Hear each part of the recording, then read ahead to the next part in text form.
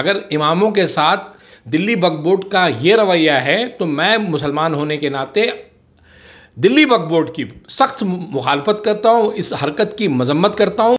जिस तरीके से केजरीवाल के इशारे पे की जा रही है कि किसी भी मुसलमान का मुँह बंद करा दिया जाए, अभी तक तो वो आम मुसलमानों की आवाज़ बंद कराने के उसमें थे, अब उन्होंने नई हरकत शुरू कर दी है। अब वो इमामों के ऊपर अपना कंट्रोल चाहते हैं, वो इमामों की ज़बान को कंट्रोल करना चाहते हैं। जो मस्जिदें आ रही हैं, जैसे कृषि भवन की मस्जिद है, शास्त्री भवन की मस्जिद है, अगर इस तरह की मस्जिदों के ऊपर कोई इस तरह की बात हो रही है तो आप उनके ऊपर बात करिए।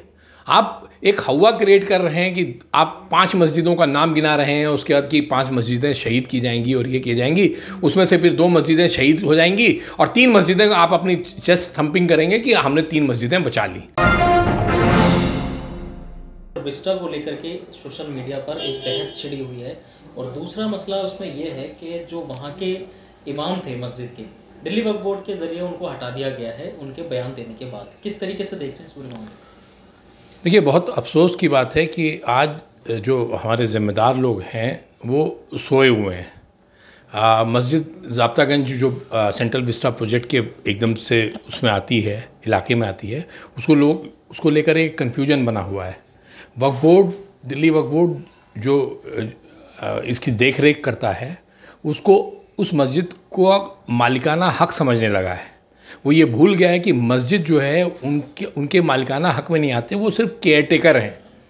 अब सबसे ख़राब बात जो हुई है कि आज तक इस मसले के ऊपर वक्फ बोर्ड ने ये बात सही नहीं, ये नहीं बताई कि ये ये ये मस्जिद कहीं ऐसा तो नहीं है कि सेंट्रल विस्टा प्रोजेक्ट के अंदर आ रही है। इस मस्जिद के ऊपर कोई किसी तरह का ख़तरे का अंदेशा है कहीं ऐसा तो नहीं है इसको भी दूसरी मस्जिदों की तरह से डिमोलिश किया जाएगा। लेकिन इन सब बातों पे गौर नहीं है। एक पॉलिटिकल माइलेज लेने के लिए एक एक षड्यंत्र के तहत या एक आ, मतलब अपने अपना कद बड़ा करने के लिए जो मुसलमानों में एक मुसलमान नेताओं के बीच में एक आम बात हो गई है कि वो मोदी को टारगेट करेंगे आरएसएस को टारगेट करेंगे अपनी कौम का मुफाद छोड़ करके। वहाँ पे मैं सवाल ये पूछना चाहता हूँ कि ये, मुझे सिर्फ़ ये पूछना है कि किस तरीके से ये ये बात क्यों नहीं साफ़ की जाती कि ये प्रोजेक्ट कहीं ऐसा तो नहीं है कि मस्जिद के लिए ख़तरा बन जाएगा? अगर ये प्रोजेक्ट मस्जिद के लिए ख़तरा नहीं है तो इस, इसका जो लेआउट है, जो इसका प्लान है सेंट्रल विस्टा का, उस प्लान में जा कर के बैठ करके उनके इंजीनियर से सारी बात की जाए, उनसे लोगों से बात मशवरा किया जाए। अगर दिल्ली वक्फ बोर्ड के पास इस तरह का कोई नोटिस आया है, अगर नोटिस नहीं आया है तो वो भी पूरी बात रखी जानी चाहिए। बजाय इसके कि जो एक बहुत शर्मिंदगी की बात है कि दिल्ली वक्फ बोर्ड ने जो जब्तागंज मस्जिद के इमाम हैं, जनाब असद फलाही साहब, उनको ब्रीफ करने के बजाय, उनसे बात करने के बजाय, उनको सिर्फ़ इसलिए सस्पेंड कर दिया कि उन्होंने इसके बारे में मीडिया से बात की। ये बहुत ही इंतहाई शर्म की बात है कि किसी इमाम को आप बोलने से रोकेंगे। उस मस्जिद के बारे में बोलने से रोकेंगे, जिस मस्जिद में वो खुतबा पढ़ते हैं, नमाज़ पढ़ाते हैं लोगों को। और ज़ाहिर बात है, बहुत सारे मुसलमानों की नुमाइंदगी भी करते हैं उस मस्जिद के ज़रिए से। आप उनको जो है उन्होंने आपने उनको वक्फ बोर्ड का एम्प्लॉई समझ लिया है, आप उनके साथ इस तरीके से पेश आ रहे हैं कि वो इमाम ना होकर के वक्फ बोर्ड के दफ्तर में काम करने वाला कोई एक आम आदमी है, ये बहुत शर्मिंदा करने वाली बात है। अगर इमामों के साथ दिल्ली वक्फ बोर्ड का ये रवैया है तो मैं मुसलमान होने के नाते दिल्ली वक्फ बोर्ड की सख्त मुखालफत करता हूँ, इस हरकत की मजम्मत करता हूँ और मैं ये उम्मीद करता हूँ कि दिल्ली वक्फ बोर्ड फ़ौर असद फलाही साहब का जो सस्पेंशन है उसको रिवोक करेगी उनको फ़ौर बहाल करेगी और दोबारा से किसी इमाम के साथ इस तरह की बेहरमताना हरकत नहीं करेगी। अगर वो इस तरह की दोबारा हरकत करते हैं या इनका सस्पेंशन फ़ौर रिवोक नहीं करते हैं तो मैं आ, आपको यकीन दिलाता हूँ कि उसी मस्जिद से आवाज़ उठेगी और दिल्ली वक्फ बोर्ड के एक एक कुकर्मों का जो भी वो करना चाहते हैं, अपनी सियासत के लिए इस्तेमाल कर रहे हैं या अपनी पार्टी के लिए इस्तेमाल कर रहे हैं, जिस तरीके से वो इमामों को इकट्ठा करके वहाँ पे ये कहते हैं कि आम आदमी पार्टी जो मुसलमानों के लिए काम करती हैं, आप उसको वोट दीजिए। ये मुसलमानों को मस्जिदों में इकट्ठा करके इमामों को आम आदमी का, पार्टी का प्रचार करने के लिए कहने वाले लोगों से मैं ये कहना चाहता हूँ कि आप इस तरह की दोबारा ज़रूरत ना करें। असद फलाही का सस्पेंशन फ़ौरन रिवोक करें। आपको इस बात की अथॉरिटी नहीं है। आपने बिना कोई कॉज डिफाइन किए, बिना किसी रूल को कोट किए, आपने बिना उनकी अपॉइंटमेंट की शर्तों को कोट किए, आपने उस, उनका सस्पेंशन वो किया है। इसके बारे में मैं अपने वकील के ज़रिए आप दिल्ली वक्फ बोर्ड को एक नोटिस भिजवा रहा हूँ कि वो इस्लाम की जो आज़ाद आवाज़ जो हमारे इमामों के मुँह से निकलती है, जो उनका हक है, जो उनके हक बात रखने की आवाज़ है, अगर उसके बीच में आड़े आएँगे तो बहुत बुरा होगा, बहुत गलत होगा। और ये हरकत जो है, जिस तरीके से केजरीवाल के इशारे पे की जा रही है कि किसी भी मुसलमान का मुँह बंद करा दिया जाए, अभी तक तो वो आम मुसलमानों की आवाज़ बंद कराने के उसमें थे, अब उन्होंने नई हरकत शुरू कर दी है। अब वो इमामों के ऊपर अपना कंट्रोल चाहते हैं, वो इमामों की ज़बान को कंट्रोल करना चाहते हैं।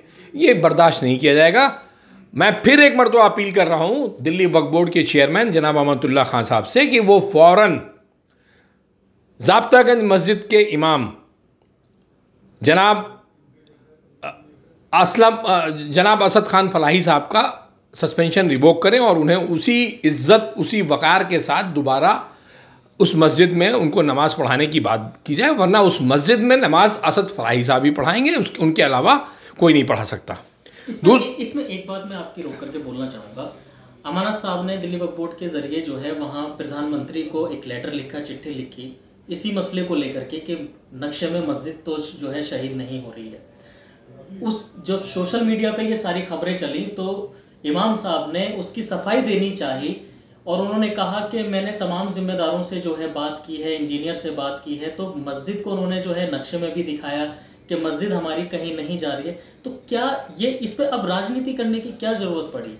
आखिर ऐसा क्या उन्होंने गलत कह दिया? अगर सामने उन्होंने अपनी बात कही। देखिए, ये एक गेम है। इस गेम को समझने की ये कोशिश कीजिए कि जो चीज़ होने वाली नहीं है, उसको हम करेंगे।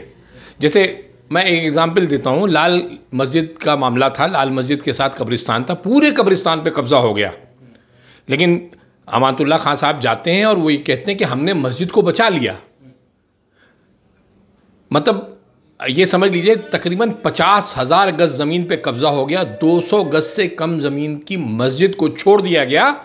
अमानतुल्ला खान, उस मस्जिद की बात करते हैं, उस मस्जिद के सहन की बात नहीं करते हैं, उस मस्जिद के वज़ू खाने की बात नहीं करते हैं, उसके गसल खाने की बात नहीं करते हैं। अब आप मुझे बताएँ कि ये ये कैसे मुमकिन है? ये क्यों किया जा रहा है? इस तरह की हरकतें क्यों की जा रही हैं? एक चीज़ ठीक इसी तरीके से इन्होंने इस मस्जिद के लिए भी कहा, अगर सेंट्रल विस्टा में ये मस्जिद आ रही है तो उसका एक प्रॉपर प्लेटफॉर्म था कि वो आरटीआई लगाते, जो एजेंसी सेंट्रल विस्टा को बना रही है, वहाँ से उसका मैप मांगते, उससे ये क्लियर कट एक क्वेश्चन वन लाइन का क्वेश्चन पूछते, क्या जबतागंज मस्जिद को शहीद करने की योजना है, उसको रिलोकेट करने की योजना है, या मस्जिद को कुछ नहीं किया जाएगा? उसके बजाय उन्होंने माइलेज लेने के लिए कि प्रधानमंत्री जी दस दिन के अंदर जवाब दें। अगर प्रधानमंत्री दस दिन के अंदर जवाब नहीं देंगे आप क्या कर लेंगे? आप, प्रधानमंत्री आपको जवाब देने के लिए जिम्मेदार नहीं है। लेकिन अगर आप आरटीआई लगाइएगा तो उनको तीस दिन के अंदर जवाब देना ज़रूरी है।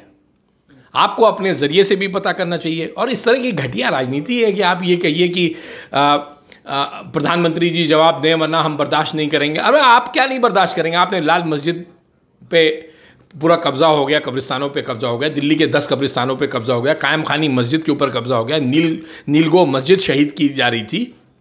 आप तो बर्दाश्त कर रहे थे।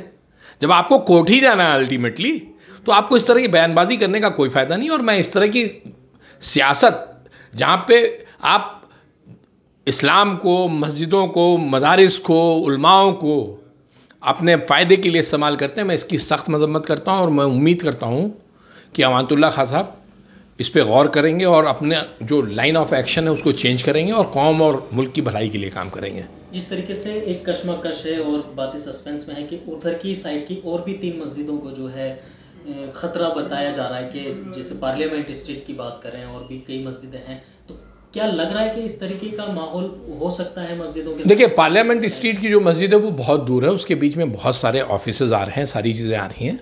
ऐसा नहीं है कि अगर पार्लियामेंट स्ट्रीट की मस्जिद को तोड़ दिया जाएगा और बगल में पीटीआई और दूसरे ऑफ़िस हैं उनको तोड़ा जाए नहीं तोड़ा जाएगा ये मुमकिन नहीं है।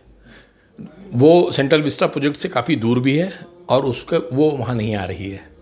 ठीक है?